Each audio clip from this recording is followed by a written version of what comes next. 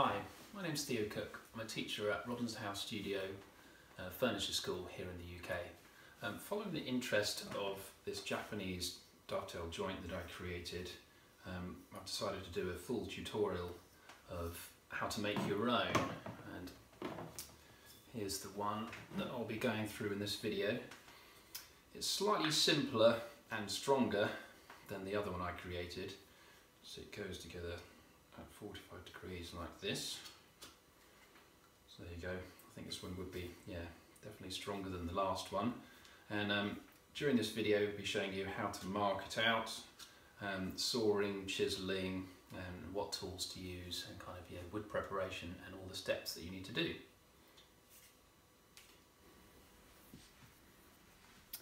So the first stage of this joint is actually working out how you want to cut it and obviously this is done on a piece of paper just like this one here depending on the you know the complexity of the kind of joint that you want to create. So for this one here which is this example at the top here with the Japanese joint joint um, differs from kind of yeah any other joint that I know of really that you have to use a template that goes off of your work. So it all starts from a center point here and kind of comes down.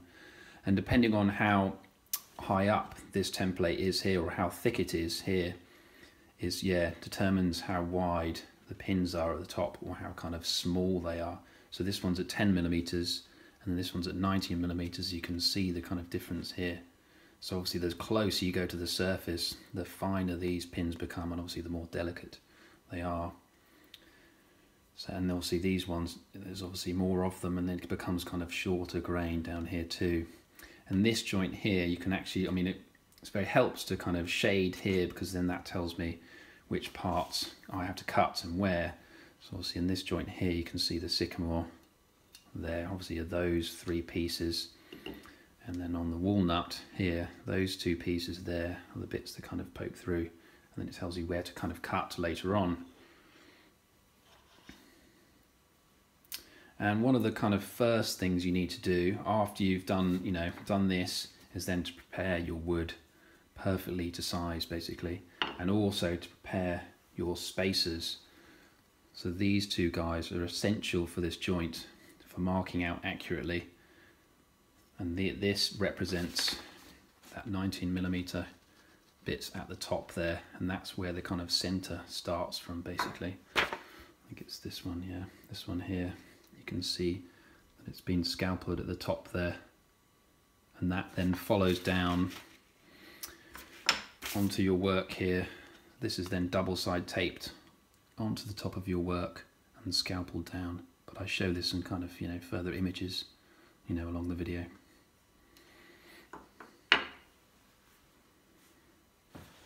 After you've planed your wood to dimension width and kind of thickness extremely accurately obviously both pieces I'd then move on to a shooting board where I would have shot the two ends of my stock or bits of wood completely square. Obviously in this dimension and that dimension before I do any marking and it needs to be yeah, extremely accurate.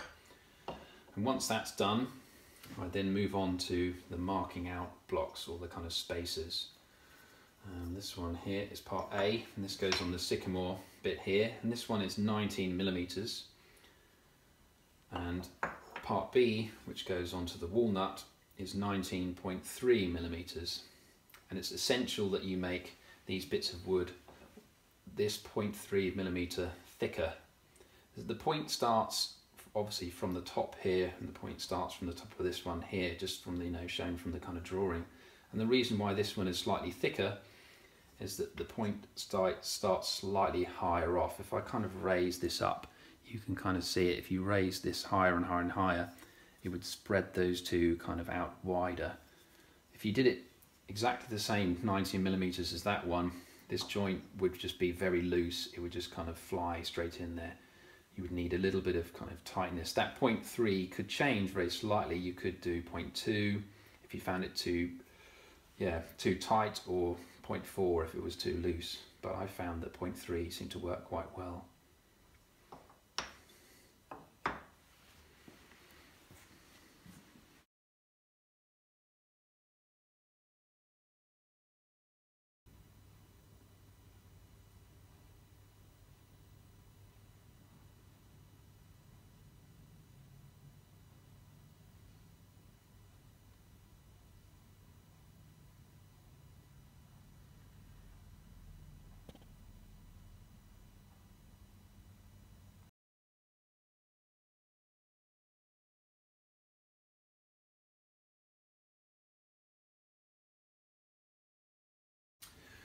One thing I forgot to mention earlier when you're marking out your dovetail is this this kind of ghost line here on the drawing, which is yeah very important. It doesn't mean much and on this, but then when you look at the joint here, that represents this path here, and you don't want to forget about this basically because if you if you don't do this, because it look better obviously if this spreads over here becomes more you know these become more kind of even. But if you spread this over here and that kind of shoots out of the side here then obviously this joint will protrude from your side. And this is one of the things that I learnt when doing this dovetail here that it actually shot out of the side here and you can just see it there which I wasn't very happy with at the time. But from the top you can't really see it and I didn't really yeah didn't really realize that yeah that at that point there obviously shoots down at the same angle as this one here so it kind of pops out the pops out the side there. So when you're actually working out your joint it's very important as you can see it on these guys here that you draw on your it obviously goes up at 90 degrees here and then goes down at the same angle. This one goes down here. You can see it there too. So 90 degrees up that dimension there just follows on down there and that's where the bottom of this joint will kind of yeah will kick out at basically. And then once you kind of yeah obviously with that knowledge it's then time to kind of stick these spacers on the top here stick that to the top of there in the middle and then stick the top of this one here in the middle. And the first tools you need the sliding bevels.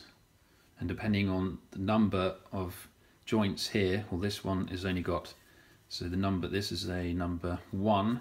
So this one you'll be needed to cut or to scalpel down here and scalpel down here and over the tops as well which I'll show you when I just kind of take these off. And obviously for slightly more complicated joints I've got well I've got four or five sliding bevels but for a more complicated one like this you will need four different sliding bevels all set up because you can't interchange them. You don't want to kind of take the set off basically. So the number one is obviously a mirror. So the number one does this one, this one, and all of the rest of the kind of, you know, angles at the back here afterwards. Obviously you need, yeah, four in total to do this one, but you need two for this one, which I'll show you. You then obviously set, so number one is then set up here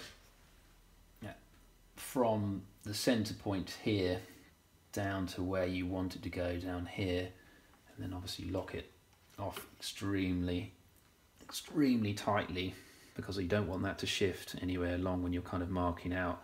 And then I would label them up as well. So it's labeled up as number one and you write on your joint here the numbers that correspond with your kind of original drawing. So you don't get yeah don't get confused at which one you're doing. If you have you know you know total of four or more and then you set up sliding bevel number two to the angle of number two. And I show this further in the in other, you know, the video after, well, you know, a few clips after this one, I show kind of more in-depth kind of stills and things like that of me actually, you know, cutting this this joint. Obviously it's cut now, but I've obviously made lots of videos of the kind of marking out and the scalpeling and so on and so forth. But then once you kind of scalpeled down here, this is a swan kind of scalpel that I use to scalpel down here. So you scalpel in here, scalpel down here, scalpel, you know, all of the kind of front kind of joints. And once you've done that, pop these off. Obviously there was wood here before, and obviously using your number two gauge, you would then gauge this line here and then obviously it would then be go down the back here too. So whichever one it's been used if it's a number two it's this whole plane is then done with a number two sliding bevel. And the same thing applies with the number one. It's everything on this face here is all done with the number one bevel and obviously then mirrored over the other side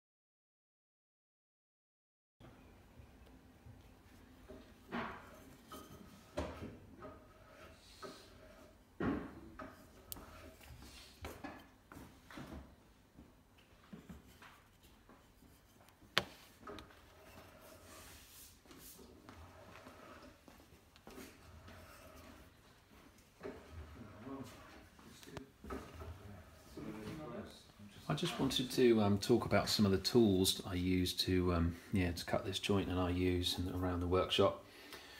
Obviously, I mentioned the kind of yeah sliding bevels, pretty you know pretty essential, you know fairly kind of inexpensive kind of tools really.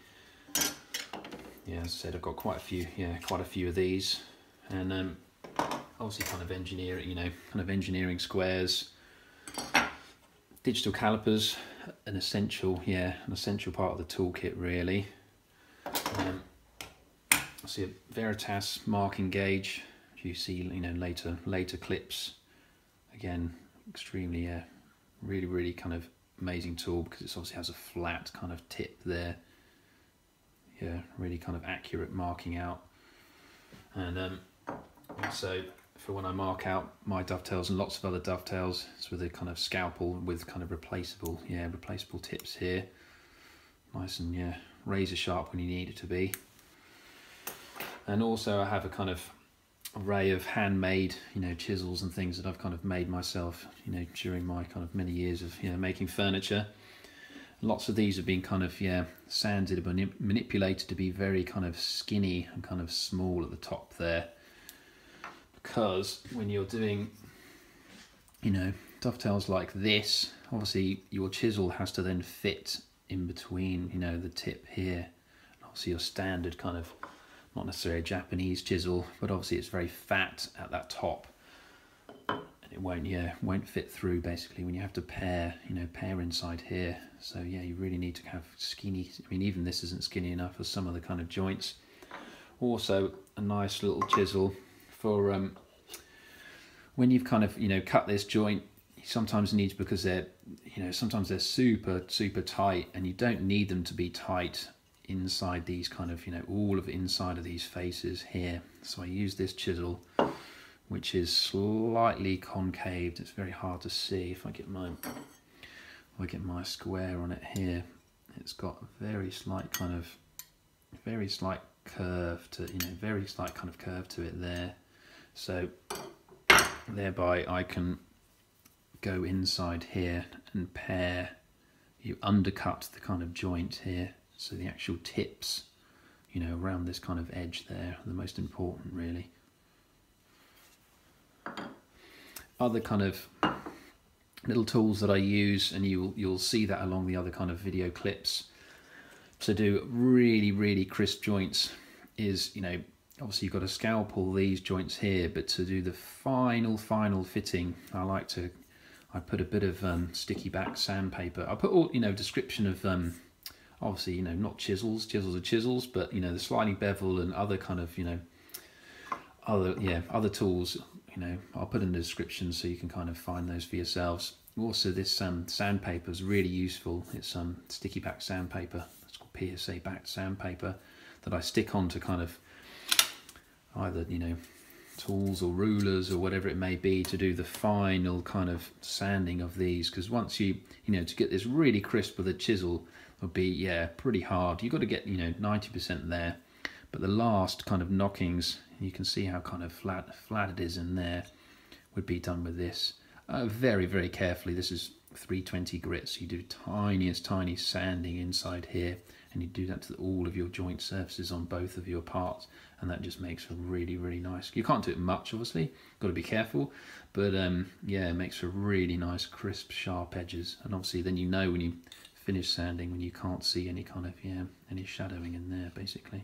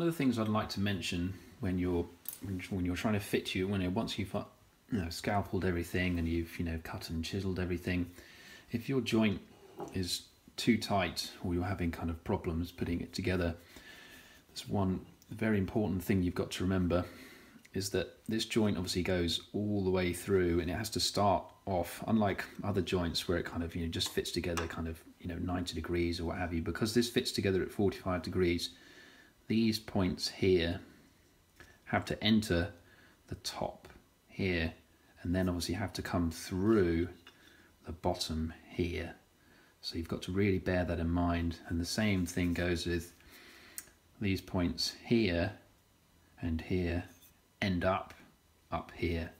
So if you find this joint doesn't fit at the top here, you've really got to be careful because you've got to think, if I remove something from here, will I make it loose here? So you've got to constantly, while kind of trimming and checking to see whether things are tight, you've got to reference, you've got to put this joint touching it like this to see whether that's going to fit okay. And similarly, putting it together like this to see whether it's kind of tight. Actually, works better, that, yeah, kind of that way round, whether it kind of fits tight there, and equally this one fits kind of nice and tight there. That's why I like to kind of slightly undercut it, like I said before, you know, in here, in these kind of, you know, in these kind of faces here, because you you know, there's no point in it being tight, you know, all the way here when it really doesn't need to. I'm not talking about massive undercutting, but a small amount of undercutting here. So if it's tight anywhere, it's right on these kind of outer, these outer edges and on the tips here, basically.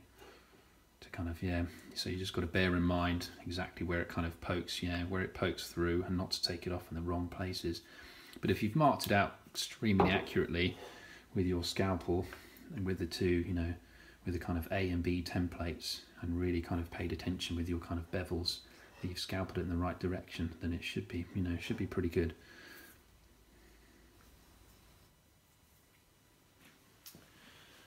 Before I um, glue this joint up, I thought I'd like to mention that when you're kind of doing the marking out stage of this shoulder line here, that you do it slightly under the dimension I don't know if you can kind of see it here. It's quite, yeah, you can see it just about there. So when you clamp this up, unlike other kind of dovetails where you have this protruding and then you just kind of clean that off, that'd be a lot easier. But it's quite hard to put pressure on these kind of small pins, especially if you have more delicate or more kind of, you know, finer pins like like this guy here. I really struggled kind of clamping this up with yeah with the really small pins yeah really small pins here so I decided to mark mark the kind of yeah slightly under under the dimension there and this is done with when you're doing your marking gauge here for the for this shoulder line here when you're going down to there basically that you set your marking gauge up to just under the thickness of your kind of yeah of your stock or your material basically and that means your pins won't poke, yeah, won't poke through there, which you'll see just now. I'm kind of gluing up, so it helps a lot really. And also make sure you've waxed your waxed your blocks here. These have kind of yeah been pre-waxed, so obviously they won't because they'll they'll stay there obviously during the kind of clamping process. And I've done them just under the kind of yeah that kind of width there, so I can see that the pins here kind of yeah close down. And the glue I'm using is Titebond, yeah, just regular kind of original, Titebond original. And some sash clamps.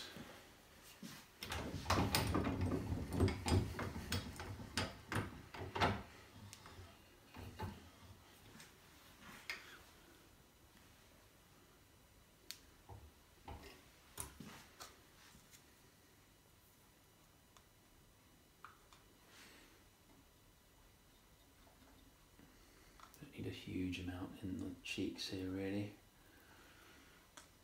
A bit on the end grain.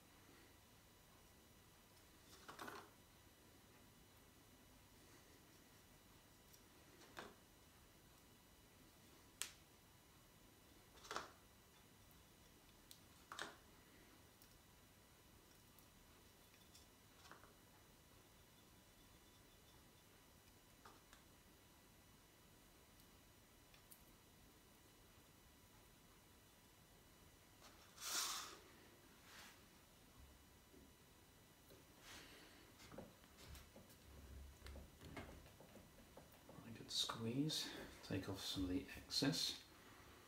There we.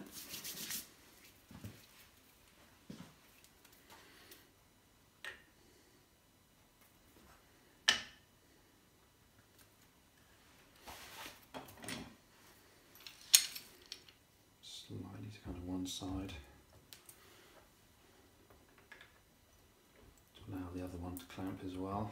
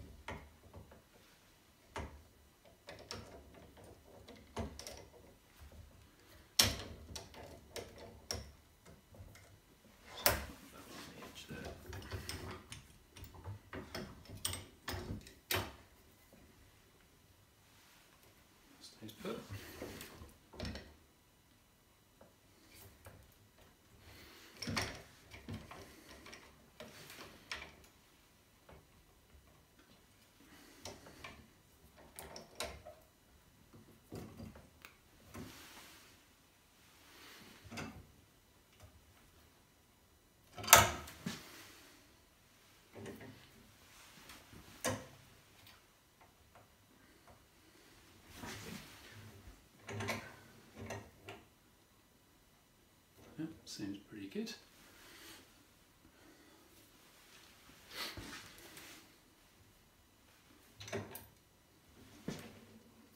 Okay, see how that turns out in a bit. Right, glue up went quite well, I think, and um, yeah, I planed it all up and flushed all off the surfaces there, and um, yeah, sanded it quite thoroughly, and um, gave it a coat of oil. The oil that I used is this um, yeah, Osmo, what's made by Osmo, Satin Clear. A kind of, yeah, one of the go-to kind of finishes we use here. Similar to kind of Danish oil, but it's a bit more kind of hard wearing. I'm going to do about two or three coats, yeah, two or three coats of that. But yeah, pretty happy with the results. Um, so yeah, hope you liked the video. Um, if you're interested in the school or doing kind of courses here at Robinson's House Studio, then please see the kind of yeah website link below. And um, yeah, hope you enjoy making your own Japanese dovetail joints. And if you'd like to see any other videos, and um, my other video of that, yeah, that one kind of going together, not as in depth as this one, but yeah, hope you enjoyed the video, and thank you very much.